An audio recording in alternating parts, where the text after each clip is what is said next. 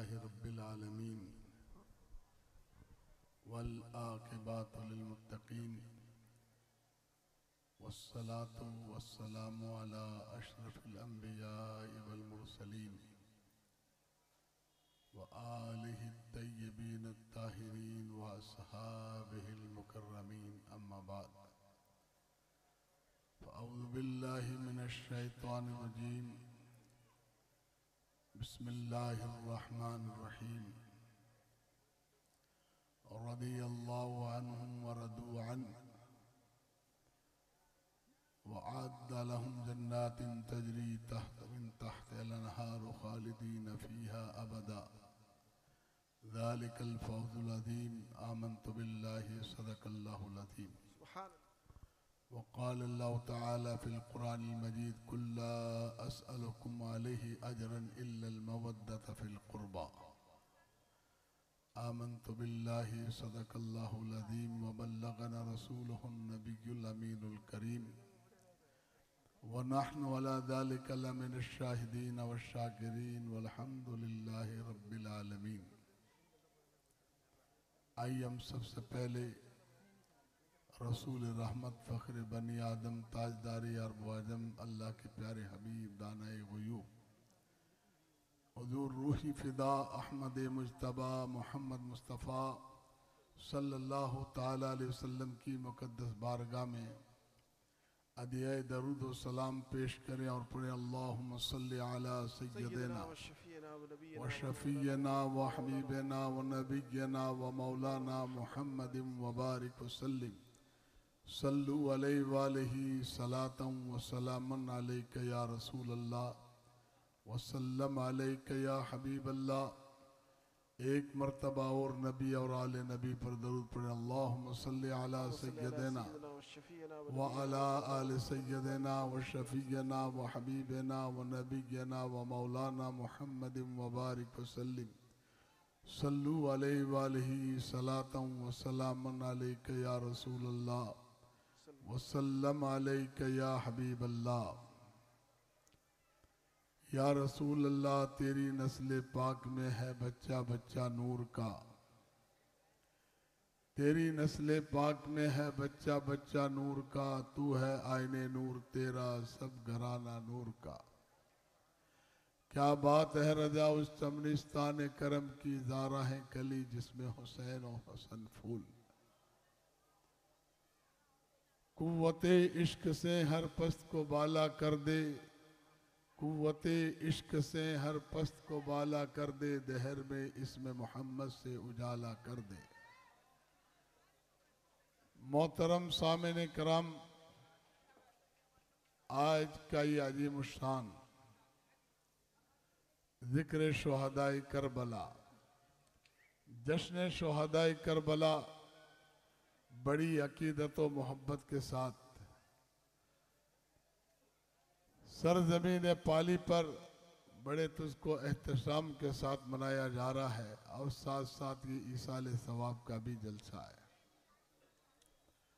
आज इंशाल्लाह आले नबी का ज़िक्र आले नबी की जबानी सुनेंगे। नारे तकबीर नारे रिसालत या रसूल अल्लाह सुन्नत मसल के आला हज़रत नारे तकबीर, नारे रिसालत। तशरीफ़ लाइए माशा। हमारे हज़रत अल्लामा मौलाना अबैदुल्ला साहब हैदरी मदजिल्लाली आप हजरात के दरमियान हज़रत के बयान होते हैं। अलहमदिल्ला हज़रत भी तशरीफ़ लाएँ। इन रहमान थोड़ी देर के बाद हमारे मुआज़ मेहमान हज़रत सैयद अमीन कादरी साहब किबला मदजिल्लाली भी तशरीफ़ लाने वाले हैं। बहरहाल आप जम के बैठिए। जब आपने ये इरादा कर लिया है कि हम बारिश के साय में भी अल्हम्दुलिल्लाह ज़िक्र रसूल सुनेंगे तो आप बैठे तो हम भी बैठेंगे इन और सबको मिलकर बैठना है। करबला वालों ने मैदान करबला में प्यासे रहकर भी हिम्मत और ज़रूरत के साथ डटे रहे। और यजीदियों के सामने आप इस तरह डटे रहे कि को हमेशा के लिए आपने, हमेशा के लिए उसका खात्मा फरमा दिया। आप हुसैनी अल्हम्दुलिल्लाह। इमाम हुसैन के गुलाम बनकर ज़िक्र हुसैन सुनने के लिए आप हजरात को भी अपने वक्त की कुर्बानी पेश करनी है। आज की इस मजलिस में नूर में इंशाला असहाब रसूलुल्लाह का भी ज़िक्र करूँगा और आले बैत अतहार का भी ज़िक्र करूँगा। हम अहले सुन्नत वल जमात, अल्हम्दुलिल्लाह, हमारे हाथ में दामन साहबा भी है और दामन आले बैत भी है। हम सहाबा से भी मोहब्बत करते हैं, आले बैत कराम से भी मोहब्बत करते हैं। सहाबा से इसलिए मोहब्बत करते हैं कि हमारे आका सल्लल्लाहु ताला अलैहि वसल्लम के सहाबा हैं। और अल्लाह सुबहान व ताला ने जिनके बारे में फरमाया रदी अल्लाह व रदू अल्लाह उनसे राज़ी हुआ और वो अल्लाह से राज़ी हुए। सहाबा की ये शान है कि अल्लाह सुबहान व ताला उनके नेक काम से, गुलामी मुस्तफ़ा से जानो माल की जो उन्होंने कुर्बानी पेश की राह मौला में उससे अल्लाह उनसे राज़ी है और अपने पाक परवरदिगार से इसलिए राज़ी है कि वो अल्लाह रब्बुल आलमीन है खालिक व मालिक है। तो इसलिए हमारे एक हाथ में दामन सहाबा भी हो और दामन सहाबा के साथ दामन आले बैत भी हो।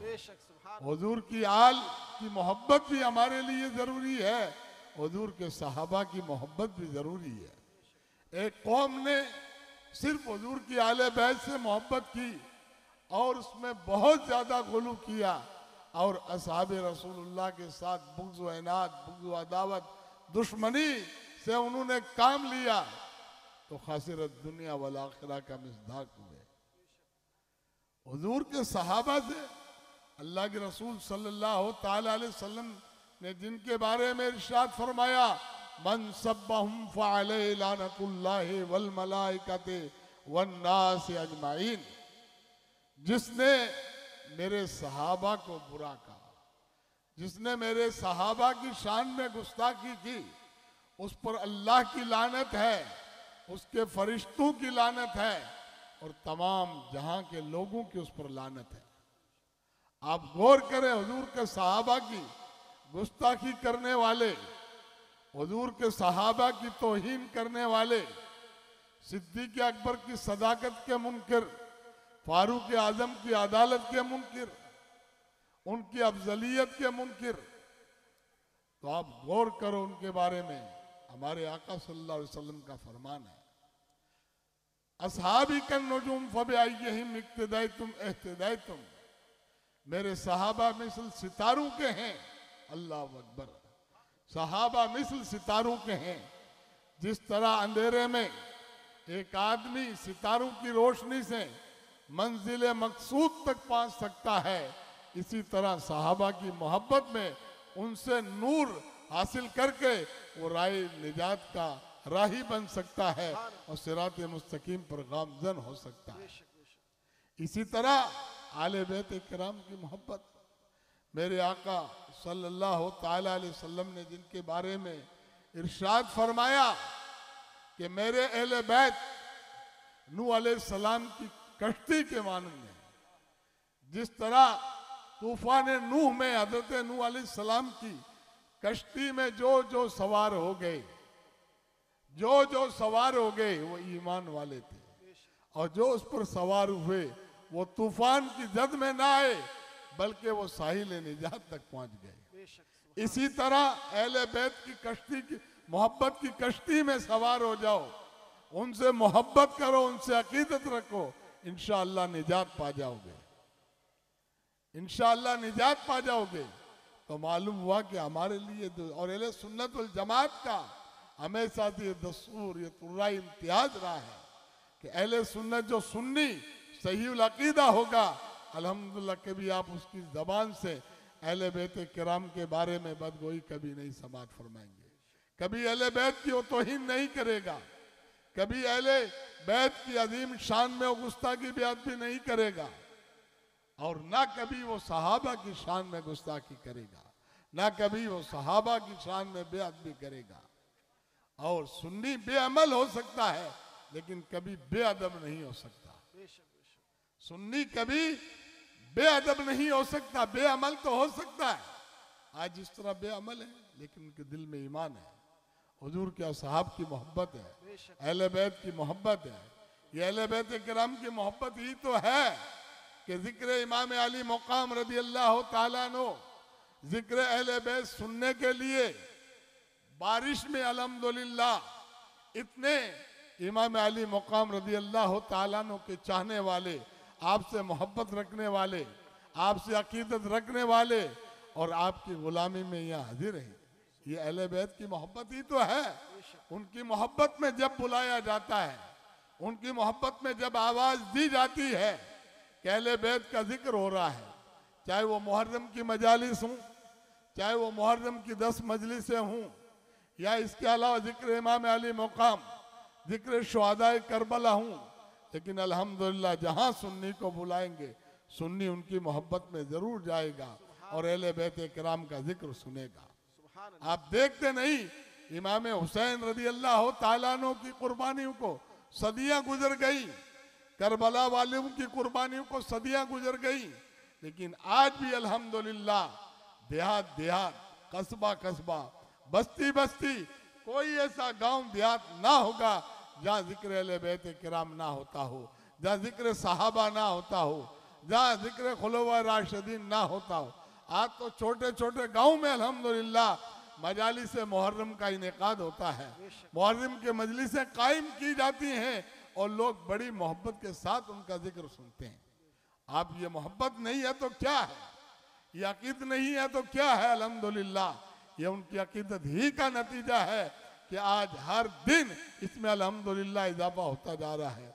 इसमें अलहमदुल्ला हमारी मोहब्बत बढ़ती जा रही है। और लोग जिस तरह लगे बार बार मुहर्रम के वाकया सुनते हैं, ज़िक्र इमाम अली मुकाम सुनते हैं, और बार बार वही चीज़ वही चीज़ सुनते हैं, लेकिन अल्हम्दुलिल्लाह सुनने में उन्हें बड़ी मुसरत होती है, बड़ी खुशी होती है। इसकी मिसाल यूँ लीजिए, एक मुश्क है उसे बार बार पानी लगा आप घिसते रहिए।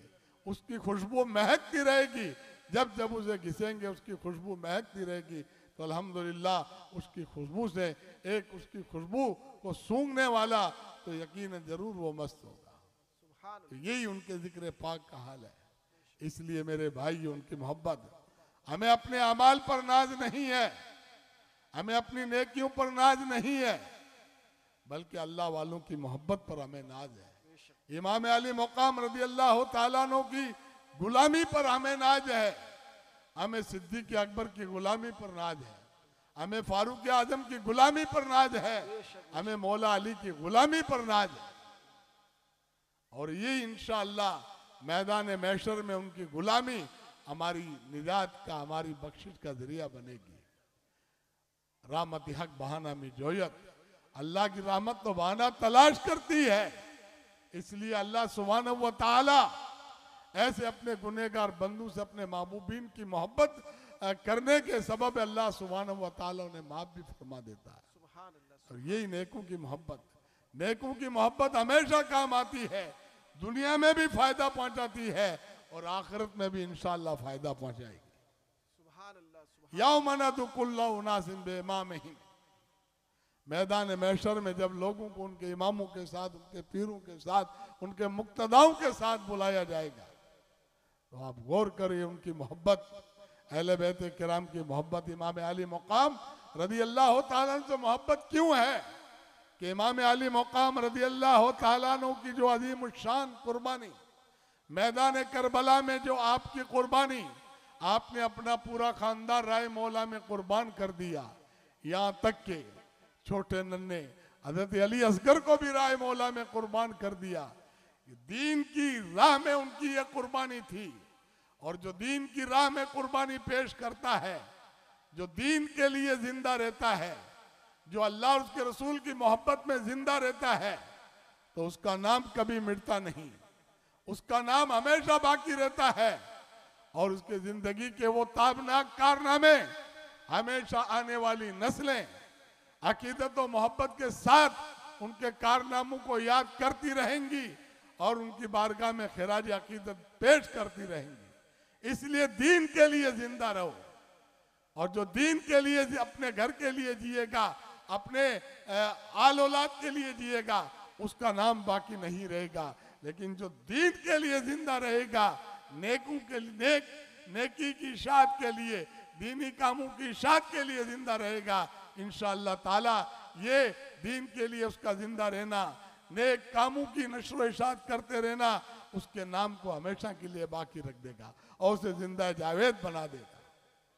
इसलिए दीन की मोहब्बत में ज़िंदा रहने का यही फ़ायदा है। आप गौर करें दुनिया में लाखों करोड़ों इंसान आए हर इंसान को याद नहीं किया जाता है।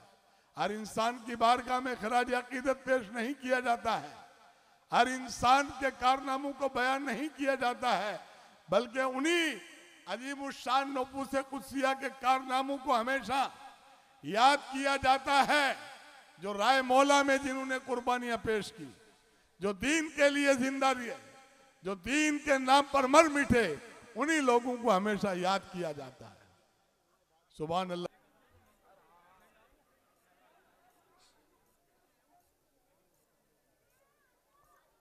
आप सभी ज़्यादा तशीफ रखे।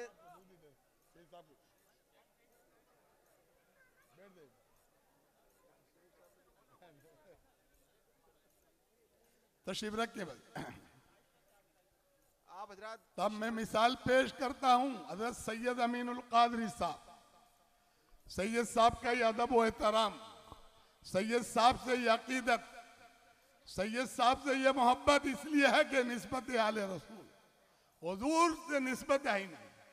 आल रसूल हैं इसी नस्बत के तहत लोग इनका अदब व एहतराम ज़्यादा करते हैं। अल्हम्दुलिल्लाह हर सैयद का हम अदब व एहतराम करते हैं।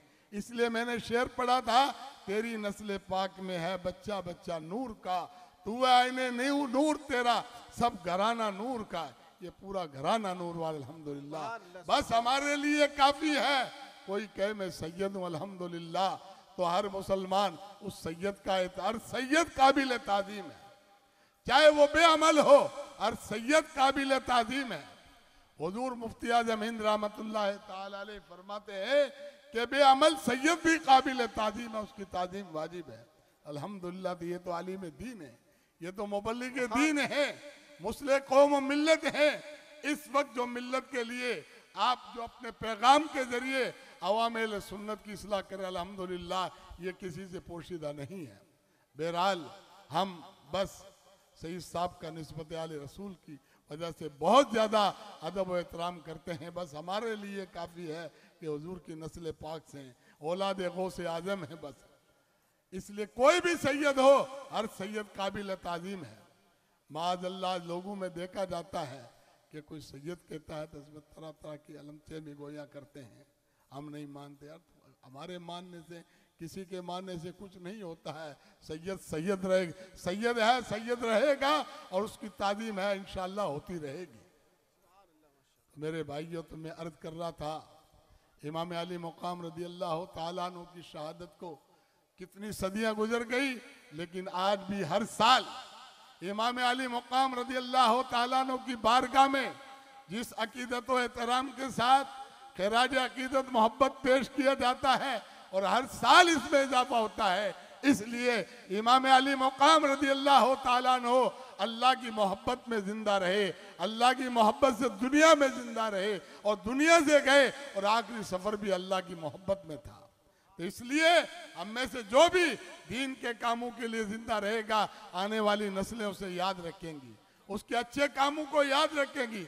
ओलमाई दीन अलहमदुल्ला जो ओलमा मुखलिस हैं, वाकई दीन की खिदमत कर रहे हैं और दीन की नशर इशात कर रहे हैं, उन ओलमा को आज दुनिया याद कर रही है। चाहे इमाम बुखारी हूँ, इमाम मुस्लिम हूँ और इमाम निशाई हूँ और बड़े बड़े फोका गुजरे। इसलिए कर हमारे लिए वो दीन का अजीम सरमाया छोड़ कर गए। इसलिए उनकी कुर्बानी की वजह से वो दर्श गाँव में याद किए जाते हैं, वो मेहराब मिंबर में याद किए जाते हैं और हर जगह इन ये याद किए जाएँगे।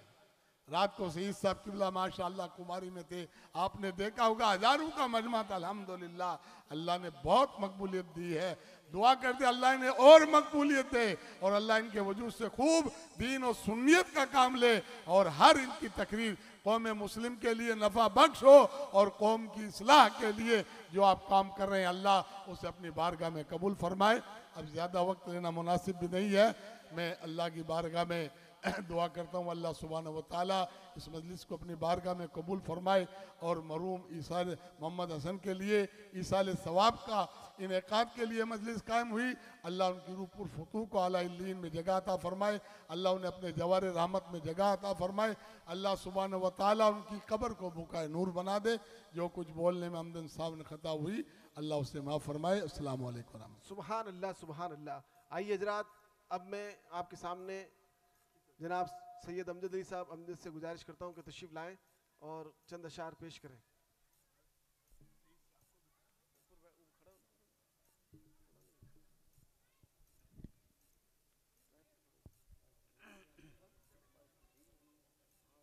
अल्लाम वरहमतुल्लाह।